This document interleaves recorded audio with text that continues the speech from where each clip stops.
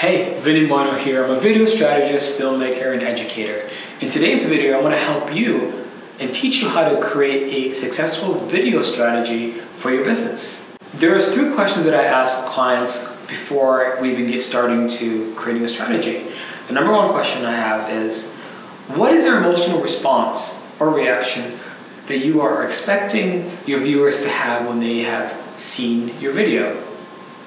The second question is, what do you want them to do after they've watched your content?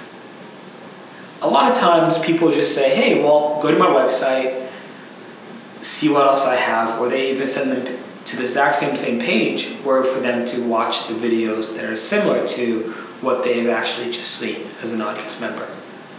I'm not saying those approaches are wrong, but what I'm saying is I have an approach that is even better, that even guarantees for the audience to go directly to where you want them to be. Over the last 10 years, I've developed this formula called the eight second formula. In this formula, what it does is it creates engagement, curiosity, and most importantly, action after a person has seen this first video. The first video that anyone or an audience member that encounters your brand, your company, your services is an eight second video. And what's that eight second video look like? Well, the eight second video is supposed to be a teaser.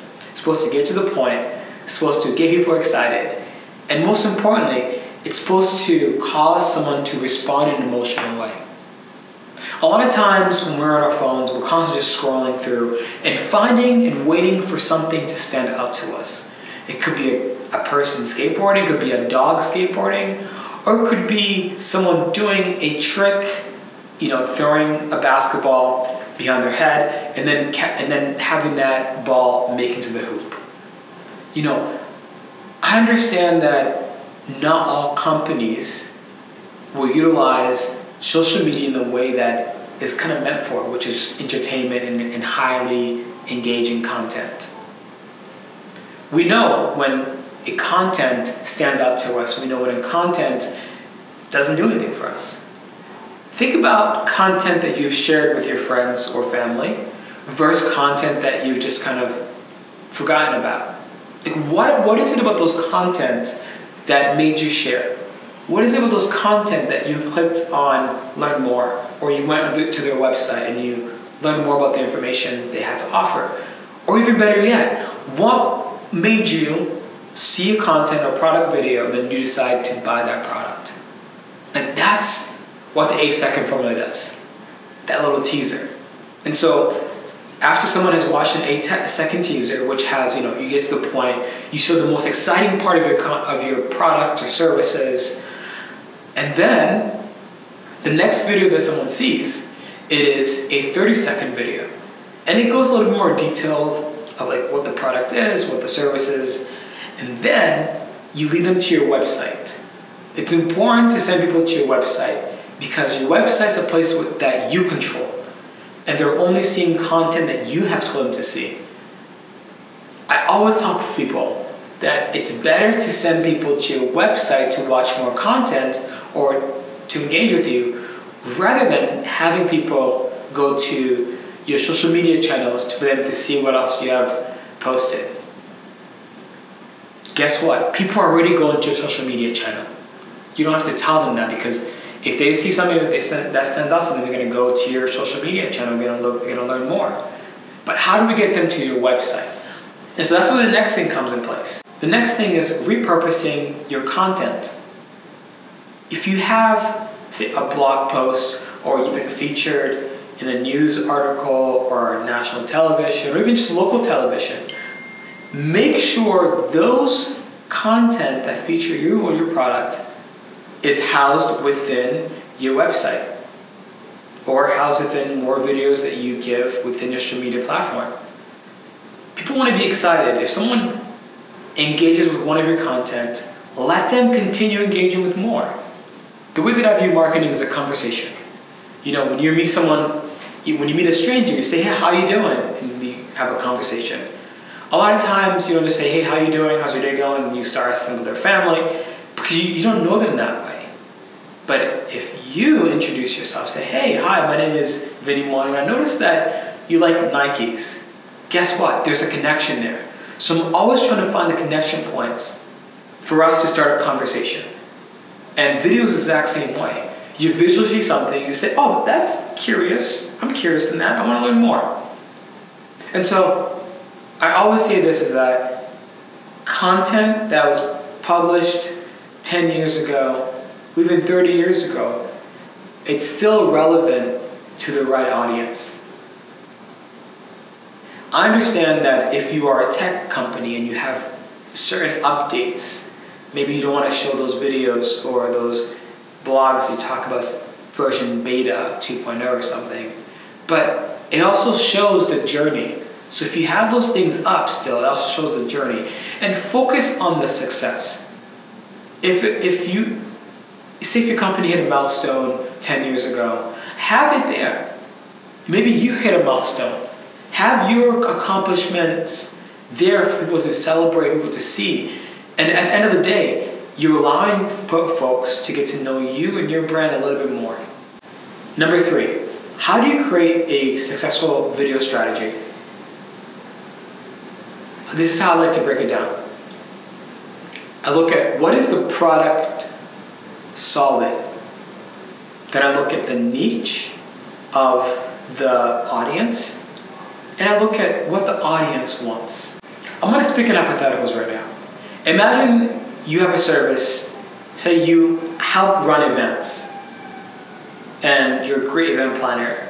And so let's talk about how can you create a video strategy that makes sense to you? Well, let's talk about you informing your audience about current trends. You informing your audience about how you can customize their events for them. I always say it's better to show than tell. It, say if you're a hairstylist, yes, you can have tons of photos of before and afters, or even, or even in the process, videos of having your clients you know, go from stage one to stage two, the reveal. What I would suggest is adding in one little thing. So if you're a hairstylist, I recommend creating a strategy around the different hair textures and the importance of utilizing certain conditioners or shampoos for this type of hair structure. At the end of the day, I believe that content's supposed to do either one or, one or three of these things, which is, which is to educate, excite, and entertain. I'm gonna give an example of B2B. So if you work with the mainly business businesses, business to business, if you have a service or a product that services a business, how are you going to differentiate yourself? Well, with businesses, what do they really care about? Just having the resources on time and for the services to do what it was meant to do and number three is to continue the updates, keeping the businesses informed of latest trends and also where, where their services is going. I find that a lot of times B2B companies think of themselves as like a as like a, as like a continuous partner. And I think it's great they think of themselves that way. But at the end of the day, business is business and relationships are relationships. And so it's really important that to keep your partners, your clients, informed of the different changes or different new ways that you're looking to better your services. If you are a photographer and you're trying to get new clients, how can you utilize a video strategy to actually help you get those new clients. First off, there's a lot of photographers online doing amazing things. You know, with the TikTok reels, sorry, TikToks and then social media, and then Instagram reels and YouTube shorts. I like to say, focus on your community. In a global sense, everyone is doing a lot of different videos showing their work, showing their artwork, which is amazing. But there's less focus, in my opinion, on art artists or um, people that do art services showing their work in a local way. So, an example, I have an art friend, I have a buddy who does paint, and I told him a couple weeks ago, I was like, hey, if you really think you want to sell more paints, I think it's really important to take one of your artwork and go post up, post up near like the busiest street, and then do a video there. Be like, hey, here I am in X Y Z. I did this. I did. I did this um, artwork, and I wanted just to hang. I wanted just to be out here holding this up for the world to see for 45 minutes.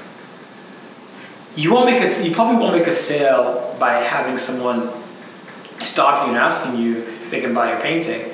But I guarantee that if you do a couple of videos of you know people's reaction, them seeing you, individuals that are looking at, looking at those videos, they're gonna go to your website and be like, hey, I actually want to support these artists. It's the curiosity that gets people through the door. It's your story and it's your differentiator that actually allows people to stay and continue having that conversation with you. And so a video strategy for me looks like this. I pick three days throughout the week and I say, hey, I'm gonna create content to post a video, the eight second video, then a longer video for those three days. So essentially you are creating two videos for they're gonna be they're gonna be posting for two days. And then you do a longer video that kind of talks about your company and what, what is it that you do and what is it you actually care about. At the end of the day, we all want to make money. We all are either being sold to or we're selling ourselves. And so it's really important that the way that you come across is genuine and approachable and excited. You have to be excited about your own craft or else no one's going to be excited about it. So that's how I would handle a video strategy standpoint, choosing three days throughout the week and posting two videos, one 8 second video, one 30 second video, and then leading people to your website. The fourth thing I want to talk about is programs and applications to make your life easier when it comes to creating video content.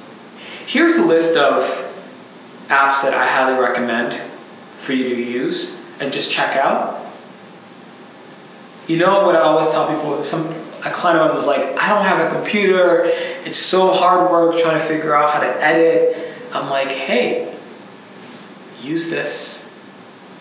And these apps that I just listed here, uh, that are right here, they all work on this. And you can see next to them which ones are free and which ones are paid. You don't need a professional camera to, especially in 2020, you don't need a professional camera to create video content. And so that's what I'll leave you with. And I'll, I'll give a bonus. Here's a bonus. When you are creating your content, always think about the emotions that you're trying to create. Think about the emotions that you want someone to, to have when they look at your video. Show, don't tell. Can tell, but just show more than tell. I'm gonna leave you off with that. I hope this was informational, and I'm excited to see the type of content you're creating. And if you have any questions, just please feel free feel free to DM me, message me, let's talk, and let's continue this conversation. We'll chat. Bye.